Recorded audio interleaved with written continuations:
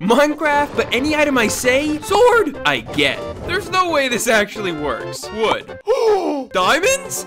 I literally have so much power! My dad. Yeah, I didn't think so. Ooh, a village.